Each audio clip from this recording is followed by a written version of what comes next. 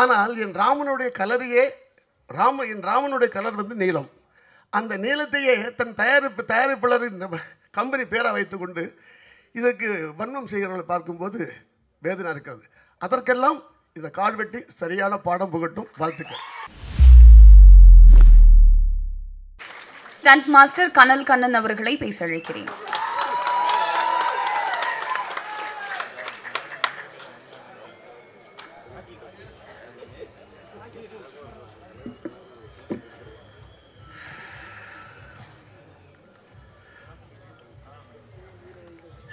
காடுவெட்டி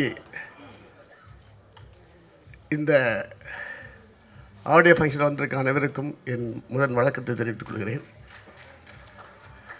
அது இல்லாமல் இந்த இந்த இந்த மீ இந்த ஆடியோ ஃபங்க்ஷனுடன் கதாநாயகர்கள் ரெண்டு பேரையும் வாழ்த்திட்டு மேடையில் இருக்கும் பெரியவர்கள் எல்லாரும் சொல்ல முடியாது.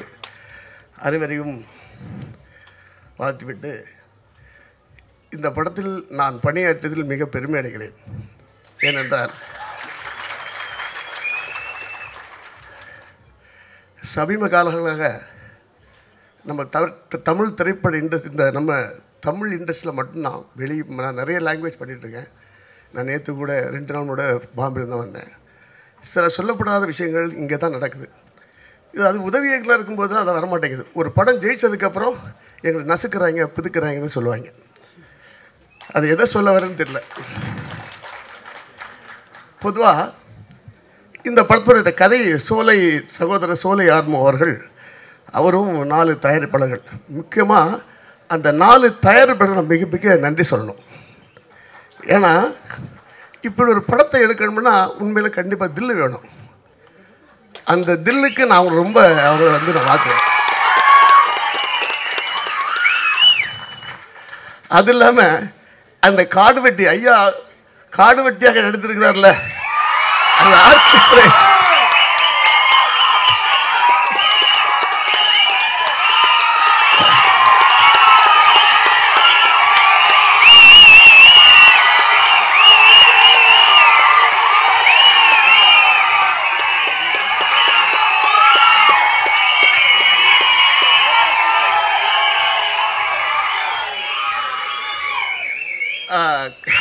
அவர் இந்த படத்தில் வாழ்ந்திருக்கிறார்.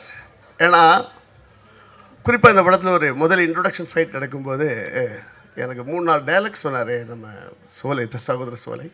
அதுக்கு நான் நிறைய கட்ஸு சொன்னேன். பட் அது சூழ்நிலை எங்களுக்கு நிறைய மழைகள் வந்ததுனால நான் மறுபடியும் பேஷ் பண்ணிக்கலாம் சார் சொல்லிட்டேன். அதுக்கப்புறம் என்னாலேயும் அந்த படத்துக்கு ஒர்க் பண்ண முடியல. இல்லைன்னா இன்னும் அந்த இன்ட்ரொடக்ஷன் அது சோலை சாரே அந்த டைலாக் பேசியிருக்காரு. அதுவும் இல்லாமல் இந்த படத்தில் நிறைய விஷயங்கள் நான் சொல்லி ஆகணும். எதுக்குன்னா அந்த படம் நாங்கள் ஷூட் பண்ணும்போது எல்லாமே எனக்கு தன்னோட ஒரு பெரிய உணர்வு வந்தது. ஏன்னா அந்த ஷூ ஷூட்டிங் சார்ந்த மக்கள் அனைவரும் ஷூட்டிங் பார்க்க வரும்போது அந்த மஞ்சள் பணியில் ஐயா காட்வெட்டு குரு ஐயாவுடைய பேட்ச் கொடுத்துருந்தாங்க. ஸோ அதாவது ஏற்கனவே அவரை பற்றி நான் அவரோட ஸ்பீச்செல்லாம் கேட்டிருக்கேன். எந்த ஒரு அரசியல்வாதியும் மதிக்க மாட்டார். தான் நான் தன்னுடைய ராஜ்யம் என்று வாழ்ந்த ஒரு மிகப்பெரிய ஒரு மகான் அவர். அவர் வந்து அவருக்கு இவ்வளோ பெரிய ஃபாலோவர்ஸ் இருக்காங்களா சொல்லும்போது எனக்கு அது இன்னும் அந்த படத்தில் மிகமாக நல்ல வேலை செய்யணும் ஒரு ஆர்வம் வந்துச்சு. ஏன்னா இந்த கதையில் எனக்கு அந்த அந்த கதையோட ஒவ்வொரு சுச்சுவேஷனும் எனக்கு மிகப்பெரிய யுக்தியை கொடுத்துச்சு. ஸோ இந்த படத்துக்கு இன்னும் பிரம்மாண்டமாக வேலை செய்யணும்னு சொல்லும்போது நானே கிளைமேக்ஸை நிறைய விஷயங்கள் கொடுத்தேன். ஆனால் அதனால் அவங்களுக்கு கொஞ்சம் ஒரு தயாரிப்பாளர் கொஞ்சம் லாஸ் தான். என்ன இல்லை லாஸ் தானே அவங்களுக்கு? ஆமாம் ஏன்னா அவங்க அவங்க இல்லை அவங்க பட்ஜெட்டாக எடுக்கிறாங்க பட்டு க க கனல் கனட பேச முடியல கண்ட்ரோலாகி போயிட்டு கண்ட்ரோல் மீறி போயிட்டுருக்கு. ரெயின் அப்படிலாம் இருக்குது. ஆனால் எடுத்து எடிட் பண்ணி பார்த்தோம் ரொம்ப ரொம்ப ரொம்ப ரொம்ப சந்தோஷப்பட்டாங்க.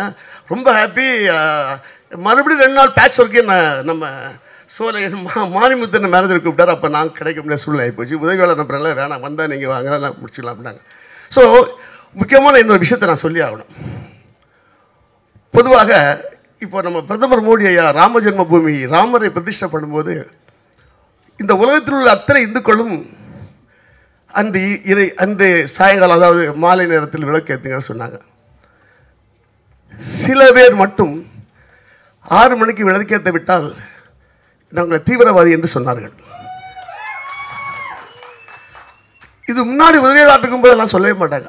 வளர்ந்தோன்னு சொல்கிறாங்க ஆனால் என் ராமனுடைய கலரையே ராம என் ராமனுடைய கலர் வந்து நீளம் அந்த நீளத்தையே தன் தயாரிப்பு தயாரிப்பாளரின் நம்ம கம்பெனி பேராக வைத்துக்கொண்டு இதற்கு வர்ணம் செய்கிறவர்களை பார்க்கும்போது வேதனை இருக்கிறது அதற்கெல்லாம் இந்த கால்வெட்டி சரியான பாடம் புகட்டும். வாழ்த்துக்கள்.